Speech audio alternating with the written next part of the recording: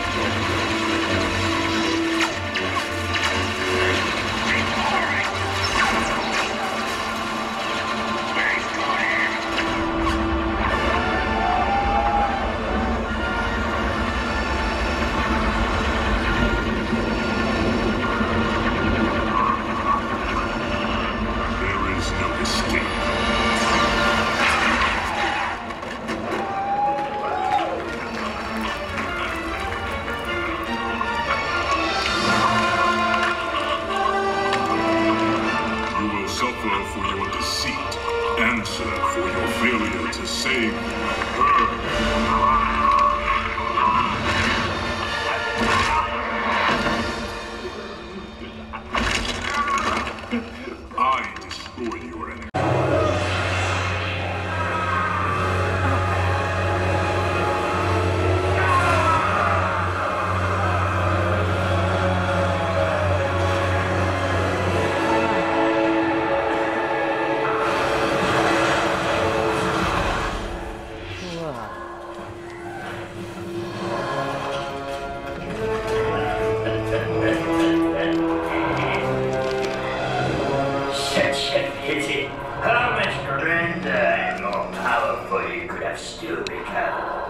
If you had temerity to embrace the path set before you.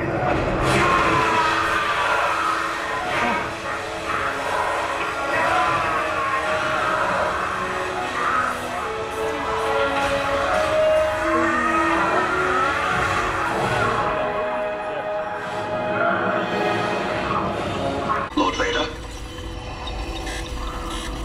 As he wishes.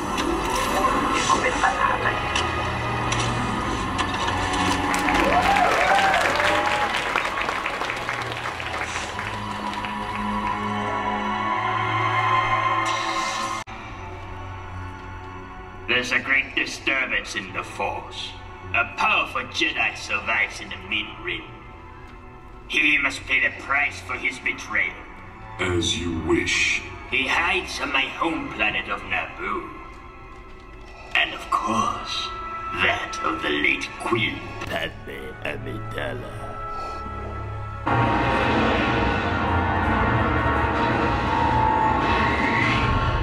Commander, prepare my personal shuttle. I seem to be afflicted by a sudden tinge of nostalgia to visit my beloved Naboo.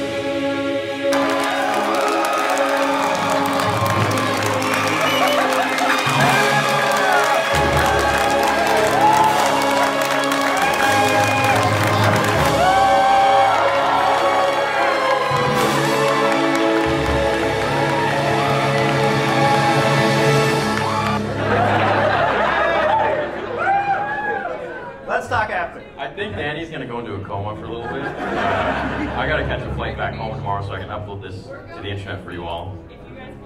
All right. Yeah. How, how long have you been working on this? From, from the start of the concept to getting this done? February. February 20th. Well, actually, he emailed me when I had about, I think, only 500,000 subs in June of 2017.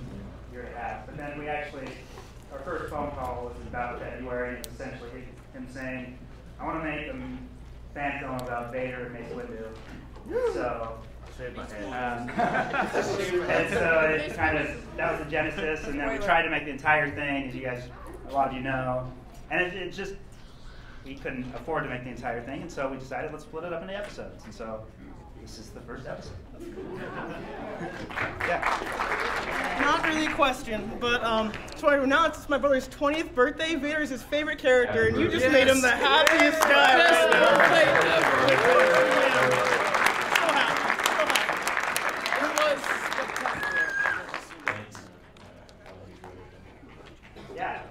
Are you going to be setting up a like GoFundMe or Patreon page for uh, episode two? Because I gladly contribute a little bit to get the episode. Uh, so, um, so we, we'll just. I have a question. Do you want to meet the cast? Yeah! Come on up. Dupree, get up here. Catherine, get up here. Merrick, get up here. Steve, get up here. Clowns, get up here. Get up here. Come on, come on, come on. Come on, Cash. He's coming. He's late. I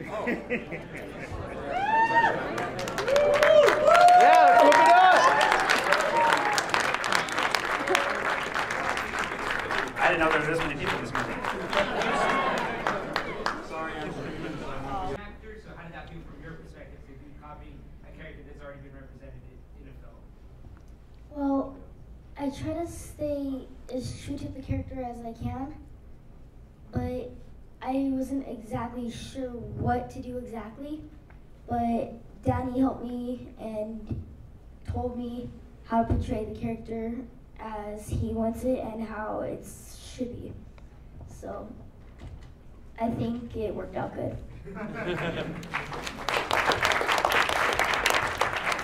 piggyback on that, um, Merrick was fabulous, and we FaceTimed, you know, the night before I flew to LA just to do like a little mini phone rehearsal, and he was just so dedicated to getting in the moment, and we talked about how we were gonna get in the moment beforehand and transform into the characters, and for something like this, it's interesting because I'm very well aware that nobody wanted to see my own rendition. Everyone wants to see what Natalie Portman would have done. And even I would. Like, if I were not in this fan film, I would have been like, well, they should have cast Natalie Portman. I don't, I don't care who they cast, like, as long as she's good and true to the character. So, you know, having that in mind and knowing that I'm a fan as well. Like, I want it to be as true to the character as possible, and I want to do a performance that if Natalie Portman were to watch this, she would be like, okay, you did me justice. So I think it's very much knowing that and being fans ourselves. Like we, I think that was the biggest part. We are fans and we wanted it to be as close to the movies as possible.